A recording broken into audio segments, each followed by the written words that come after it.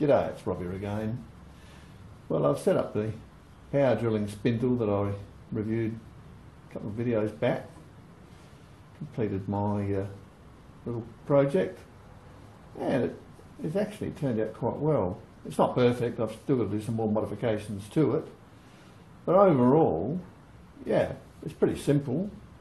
And you can see what I've done. It's uh, It's just a mount that goes on the on the top slide. The U-shaped steel. We've got a pull down a spacer. There's our power drill assembly. It fits in okay. I put a, a spacer between the pulley and the bearing because without that this can work its way out, I found with no load on it, it can actually start to travel. So I just put a 10 mil centered spacer in there and that stopped all that. The motor is just mounted on a flat bracket that's welded on with some slots in it and you can move the motor in or out to tighten your belt. Two screws to hold the motor onto this right, right angle bracket and it's running off of a 19 volt printer power pack, scrap printer power pack. Now this one's actually good for about 4 amps. But most of them only, you know, they're, they're good for at least an amp. So as this thing takes less than half an amp, hunt around, dig, dig, dig up an old power pack and that'll probably give you all you need for, for light drilling. Now, I don't see this as being a, a heavy duty unit. It's only for model making. You're not going to be putting half inch size drills through metal with this. This little motor's nowhere near big enough. So we'll try it and we'll see just what it can drill. We'll try it in steel, you know. If you can drill in steel, well, aluminium and brass should be a piece of cake. So let's get on with it and see what it can do. This is machine grade steel. This is a 3 mil high speed steel drill. This is the standard gearing and I'm running the motor off of a 19 volt scrap printer pack. So it's not running at the full 30 odd volts, it's just running at the 19 volt speed and that is less than a bit under 3000 RPM. I'll speed test it later. You can see how the motor performs.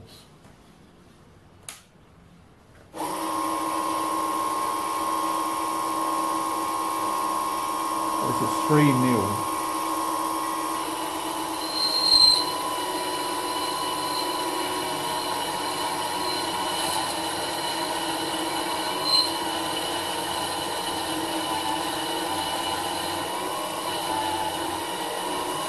problem. It does it easy. So we'll go to a, a bigger drill and see what happens. Now we've switched to a 4.3 mil drill. Now, as the drills get bigger diameter, of course, they get longer. And this is where I've got to do a modification on this later to move the, the, the mounting block back further, bring it back level with the end and cut away some of the bracket here so that the chuck will clear. That way you can use longer drills. But at the moment, I'm restricted to using stubby drills. So yeah, I'll rework this. And But at, at the moment, I'm just trying out to see how it goes for power. Uh, is it worth, you know, modifying it or trying to use it for big drills? So yeah, we'll try it on this. 4.3, give it a go.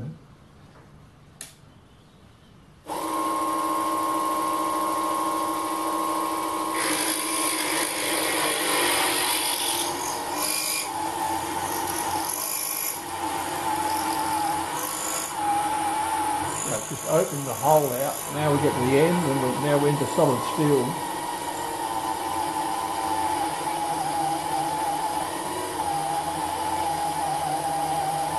That's pretty impressive. And as I said, we're doing this with 19 volts. So yeah, it, it handled that no problem at all. I'll try and go bigger. I'll dig out some more short drills and see if we can go up in size again. But so far, it's doing everything I want for model making. This will be perfect. I'm working in 3 mil for the Allen headed bolts on model making, so this will easily, easily do that into steel. And uh, yeah, it's pretty impressive on what it is, you know. But as I said, at 19 volts, the speed is pretty well perfect. Right, so now we're going to go to a 6.3 mil drill. Now I think this will pretty much test it out. Just going through my old stubby drills, but broken ones, they're all sharp, they're good and sharp, so yeah, this, this will test it out. So we'll go through what we've already pre-drilled and then we'll get into solid steel. Just see what the little motor's capable of doing.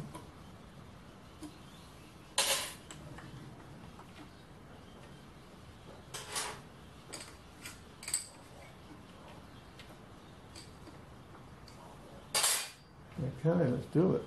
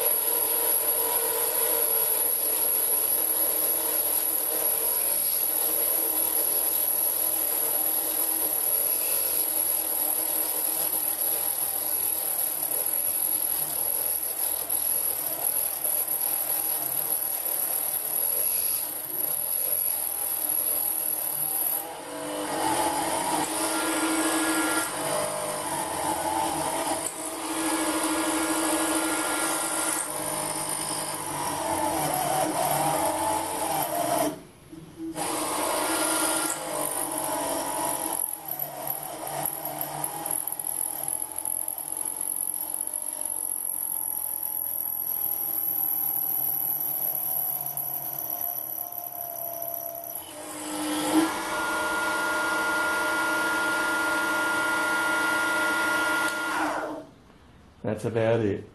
That's right on the limit. So I'd say five mil maximum, six mils too much for trying to drill through on its own. That was into solid steel. As far as opening up holes, if you progressively step through, yeah, it'll do it no problem. You know, you can. I mean, that six mil went through fine after the previous drill, but when you try and drill through solid steel without having pre-drilled it, no, five mil would be it, I think. But once again, as I said, yeah, drill it with a smaller drill and just follow, just step your way through. And you could go up to six mil with this, no problem at all. But I certainly think that is about the limit. Just trying to do a speed test. I've got a bit of reflective tape on here. 3077. That's about what I expected. Yep, that's pretty well oh, ideal for drilling.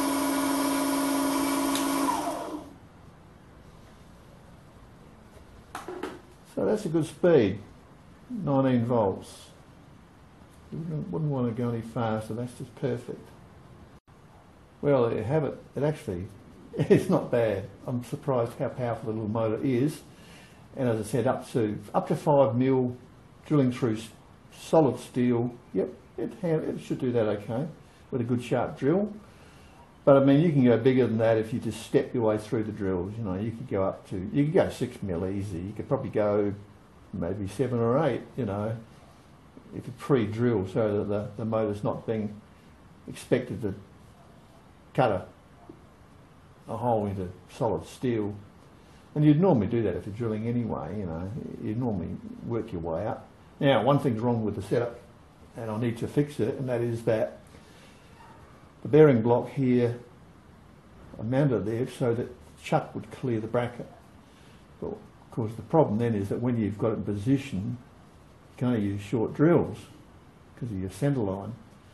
So what I'm going to do is I'm going to take out the spacer, move the block so it comes up close to the pulley. So this, this bearing housing will be here and I'm going to take the shaft with it. So the whole thing is just going to move back. What's going to happen is this whole unit is going to move back this way. The pulley's going to finish up right up against the back of the bearing housing, and this block will be mounted here. Now, to, to provide clearance on the on the chuck, I'm going to just cut away half of this vertical piece here, so the chuck will basically sit back here somewhere, and this will here. So this will be a dog leg. Basically, it'll come come down and then go across, and that'll give you chuck clearance and that will give you an extra whatever 10 20 mil probably of drill length it'll be enough anyway I think to do the job so that's something to watch out for if you do make one of these up but overall it's pretty simple it's a pretty pretty simple design and the motor didn't throw a belt or do anything Um, untoward it never got even slightly warm even with the vent holes blocked off on the front there's no heat build up whatsoever because that's only 19 volts. This thing's rated for over 30 volts. And as I've said, I've actually had up to 50 volts.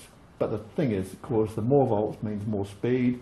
For drilling, you don't want that. You want to keep your speed down. So I think 19, 20 volts is pretty much ideal. You can run on 12 volts, but of course it's going to lose power.